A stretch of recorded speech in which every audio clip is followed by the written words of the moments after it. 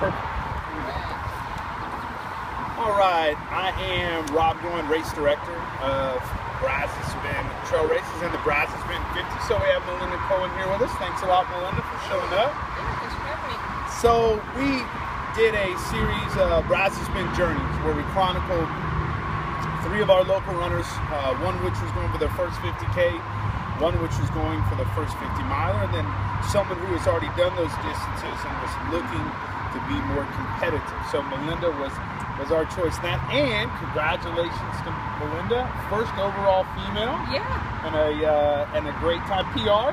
PR, yeah, I think it was uh, 18 minute PR. Yeah, something like that. So that was good. So, um, but yeah, so we talked to Melinda before. We talked to you at your house with the dog in the way. That's the infamous video. Yes. Um, about, you know, how, how you got into running, where you were training for the Bryce 100. yep. And Brazos Bend was just kind of part of the puzzle of your training. So tell us a little bit about, you know, after we did the interview, your training leading up to the race. Yeah, so we did that, um, and then I think that was like a week or two before Hell's Hills, right? Right. So I, I did that 50 miler. Um, came in second there. Had some um, had some fun. Uh, GI issues, but you know it's all it's all part of it. Yeah. Uh, so I did that, and then uh, that's when I kicked off my monster run. Yeah. So um, you know, big thing about training for hundreds is you got to get on a lot of long runs. So I, I did 50 miler. The next weekend, uh, my husband had gotten back from a business trip, so I did 27 with him. The following weekend, we both felt kind of rested up, so we did like 31 and a half on Easter Sunday. Yeah. And then the next weekend was uh, Bend, so I did 50. Yeah. Um, it was kind of funny because I didn't um, I didn't expect to do really well. I thought I was going to be pretty fatigued. I, my feet were definitely tired, Yeah. but my legs felt good. Yeah. So I was like, well, I'm just going to go kind of see how I feel and just kind of got in the groove and, well, a little bit competitive. Yeah. So, uh, Well, before you before you get into the race, so so leading up to the race, obviously your, your training's building. You, you, as you said, your legs were fresh. So you also did something that not a lot of people do: is you change your shoes up I did. day of, or, or what? A couple Yeah, days up, days right? before, two days yeah. before. Yeah, Tell us about so, that uh, choice. so I usually run in the Brooks Pure Grit. Yeah. It, it's a nice lightweight shoe. It's it's good for pretty technical terrain. Uh, no rock plate, not a lot of cushion. And all those miles, especially miles at Hell's Hills, just my feet were just hurting, just hurting. So um, so I went out and I bought a pair of the Altra Olympus, which is max cushion. Um, Similar to the Hokas. it's actually more Hoka than a Hoka. It has a higher higher amount of cushion than the uh, Hoka Conquest over here. Wow. So it's actually higher higher off the ground than the Hokas. Um, so uh, you know, yeah.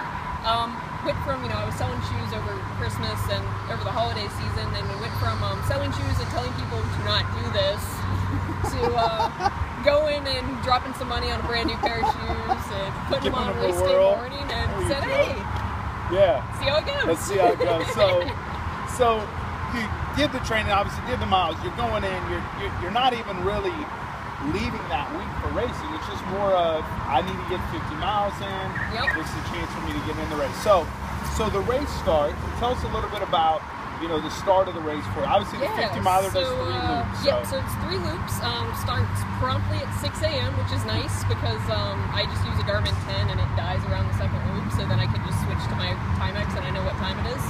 so, um, but yeah, so start right at 6 a.m. It's still dark. Um, take off with a couple of guys, and they're going kind of quick, but I was like, well, it's kind of like a road race. It's so flat. I'm gonna have to run the whole thing anyways. Let's see how it goes. right. So I kind of just hung out with them for a while, joked that, you know, hey, I gotta hang out with people anyways because I'm terrified of alligators, which is true. so, And there were a few. and there were a few, uh, saw quite a few. They all stayed in the water. Um, the snake I jumped over did not, but it was not poisonous. I found out later, so that right. was good. But you didn't know, but you just jump over it, right? But no, yeah, it just just felt good from the get go. Yeah. So it was nice. So you go through loop one, Mhm. no issues. I've, I've crewed you before, so you're in and out on your your, your aid station. Get what you need, pop back out. Yeah, yeah, no issues. Um, went through loop one in 220, which is um, a bit quick for me. Yeah. but uh, but felt good and wasn't too concerned about it. So yeah, just kind of started going to loop two. Loop two started seeing some reptiles. Yeah. It's, Um, is it got hot. Yeah, it got, as it warmed up. yeah, everything woke up, heard some birds, saw some reptiles, and uh, yeah, got through uh, the, the first aid station on the second loop, and you know, our buddy Jose was manning that aid station like a champ. Yeah. Um, and he tells me that I'm in second, Right. which I didn't believe him. Right. Well, you can. He's a liar. He does lie in the interest of his runner. Yeah, yes, yes. So, but I, I, I was like, well, you know, maybe I am in second. Maybe. So I, Perhaps. I just, you know, kept kept trucking.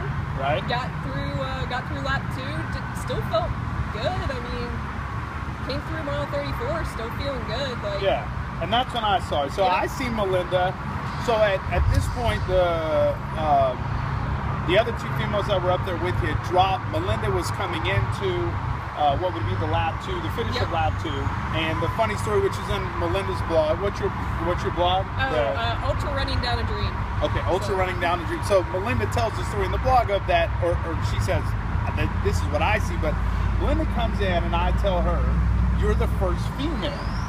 And then Melinda's, you can see it in her eyes, it's like jackpot. It's. Vegas. It's like, what? And I'm like, they drop, And then I don't even remember how fast it was from when I saw you and when you were gone. I I was you gone. stopped. No, I, I stopped. Did but you? My my mile split with stopping, with getting my nutrition and like going. My mile split for that mile was like 8:40. Yeah.